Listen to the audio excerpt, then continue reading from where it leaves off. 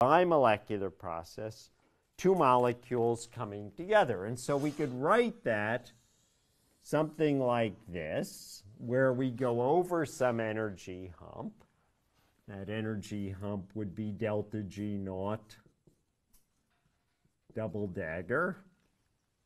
If you want to be, be good, um, good about this, we could also recognize that we're going downhill. That's delta G naught. We're